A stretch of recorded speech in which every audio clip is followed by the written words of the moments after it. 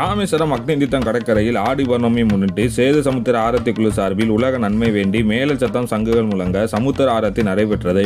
இதில் திரளான வடமாநில பக்தர்கள் கலந்து கொண்டு சிறப்பித்தனர்.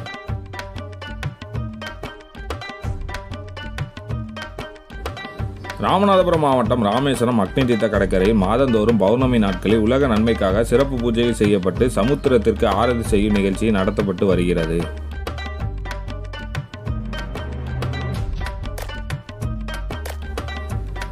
இந்நிலையில் ஆடி மாத பௌர்ணமி முன்னிட்டு கலசம் வைத்து கலசத்திற்கு புனித நீர் ஊற்றி சிறப்பு பூஜைகள் செய்யப்பட்டு பின்பு வேத விற்பனர்கள் வேத மந்திரங்கள் முழங்க தீபாரணை காட்டப்பட்டது.